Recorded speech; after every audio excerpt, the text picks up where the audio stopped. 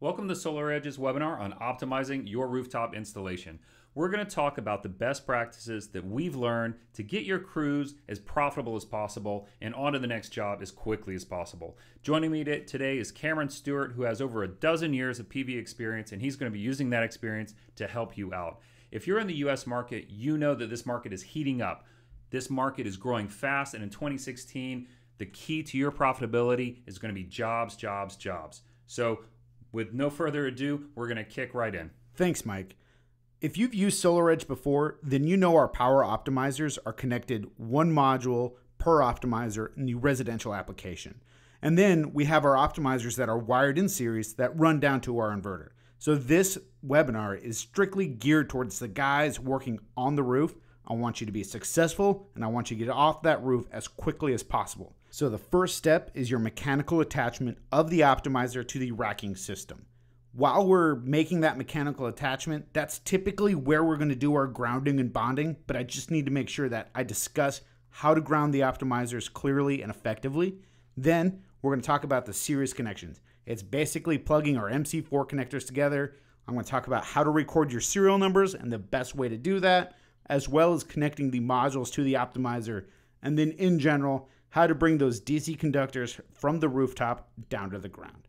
Step one of our installation workflow is going to be the mechanical attachment of the optimizer to the racking system. First thing you do when you pull a box of optimizers out on the roof and you're ready to attach them, make sure you're installing the right optimizer. It's easy to say and it is easy to do. If you have a 60 cell module, just count the blue squares on your solar module. If there's 60 of them, then you're using the P300. If there's 72 of them, then you're going to use the P400. If you're installing thin film, then we're going to use the P405. The P320 is reserved for those high efficiency modules that have an output amperage of higher than 10 amps. So look at this, the sticker on the back of the module. If it says 10.1 amps, then use the P320. So first, we're going to mount our racking system, and then we're going to attach the optimizer to the rail of the racking system. So the optimizer has a mounting hole or slot, whatever you want to call it. It is designed for quarter inch or 5 16 inch hardware. So to determine the location of each optimizer, I'm going to take my module, and if my module is three feet wide, I'm going to go in a foot and a half on my rail and then mark a spot every three feet. So that way I know the location of each optimizer. The optimizer is a NEMA 6 device, so it can be mounted in any orientation. Uh, it's always a good idea to make sure we have one inch of cooling clearance on all sides of the optimizer. So if you're putting a module directly over the top of it, just be careful that you're not hitting the J box of the module with the optimizer. It's always a good idea just to make sure that optimizer is pointed face down so the label is up. That way, also when you're recording your serial numbers, it's easy to grab those stickers. If you're choosing to use one of those railless racking systems where the module acts as the rail itself, most manufacturers have a clamp or an accessory bracket that allows you to attach the optimizer directly to the frame of the module.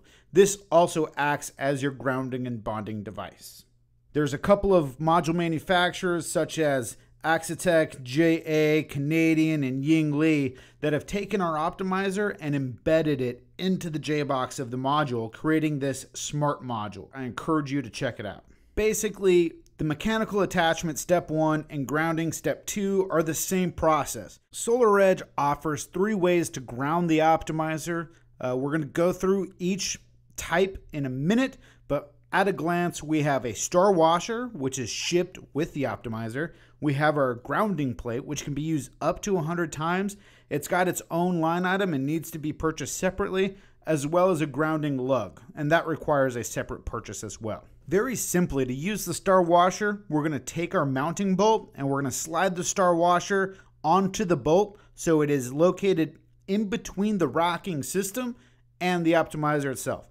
So the purpose of the star washer is to cut through the anodization of the aluminum, creating an effective bond to ground. So if that star washer isn't making contact with the rail, then guess what? It's not bonded to the rail. So if you have a wide channel rail, then you're going to need the grounding plate. The grounding plate is installed the exact same way. We want to make sure that our mounting bolt is secured to the rail. We have our grounding plate that is installed in between the rail and the optimizer. There's teeth on that grounding plate that bite into the anodization of the aluminum, again, creating an effective bond to ground.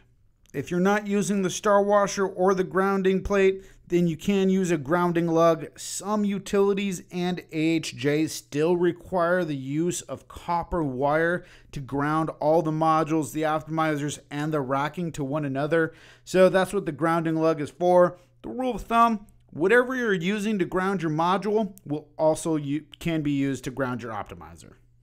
So once we've mounted our optimizer, created effective bond to ground, now we're going to proceed to step three, which is making our series connections. There are four conductors coming out of the optimizer. The two long ones is how we're going to wire our optimizers in series. So we're going to just take our MC4 connectors and then connect them together, male to female. It is almost impossible to mess up. Just of note, don't cut or modify these connectors in any way. The two shorter leads, that's what we're going to use for our module connection, but that'll be discussed later in this presentation.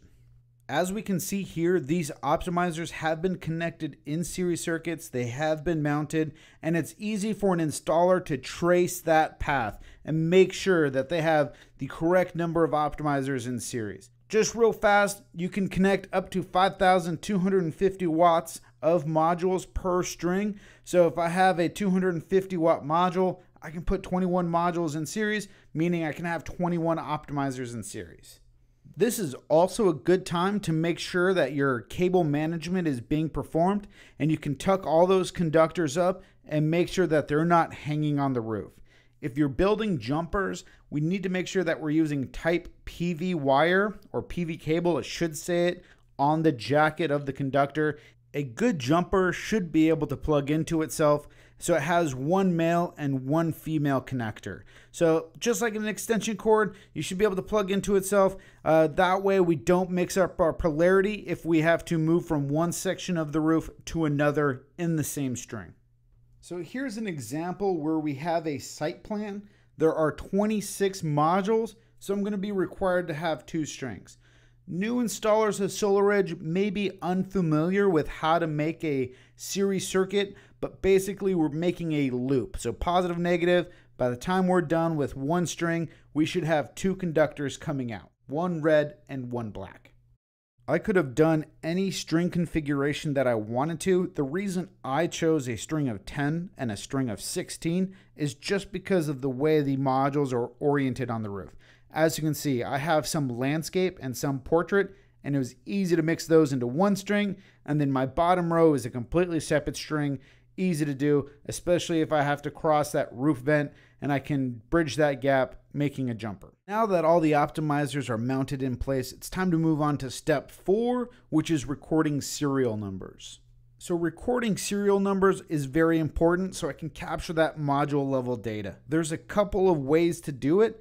First and the easiest is peeling off the QR codes of the optimizer and then sticking them to a sheet. I like to stick them to my CAD drawing so I know the physical location of each optimizer and it's something that's already been created for me. If I didn't want to peel off QR codes, then SolarEdge has got you covered. We have a couple of smartphone apps, uh, one on the iPhone store, the other in Android.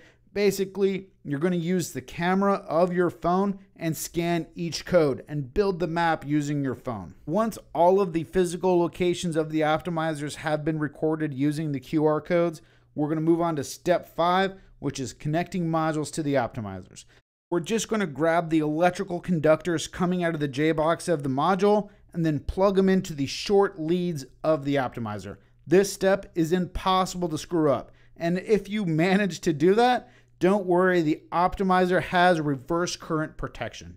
These modules in the series circuit or that are connected to the optimizers can have different number modules in a string. They can be faced different orientations or azimuths, and they can actually be different wattages. So if you have a 250 that you got on clearance right next to your 275, that's okay to do. As we're laying down our modules, it's always a good idea to check your voltage at the home run. So every module we connect, I'm expecting my voltage, my VOC, to raise one volt per module. In this example, you can see that I have eight optimizers in series that are connected to my optimizers, so my voltmeter should read 8 volts plus or minus about 0.1 VDC. The last and sixth step in the installation process, we're going to bring our DC conductors from the rooftop down to the ground where the inverter is mounted. Now to transition from the optimizers to a J-box, you need to make a whip. So we're just going to take a conductor and on one side of it, we're going to crimp our MC4 connector and then we're going to use a cord grip or conduit to enter a J-box. So when you're making a splice in a J-box, there's a couple of approved methods. I personally like the Burndy or Polaris lugs. Make sure you get the blue ones that are NEMA 3R and suitable for the environment that you're installing them. Wire nuts are acceptable if they're rated for DC energy. Don't use AC wire nuts exclusively. Many installation companies don't wish to go through the domicile or in the homeowner's attic. They want to keep everything exterior because it's just easier to do and takes less time. But if you do decide to run your conductors through the house, uh, make sure you're in a metallic raceway. Depending on your jurisdiction, they may be on 2008 code, which specifically says conduit.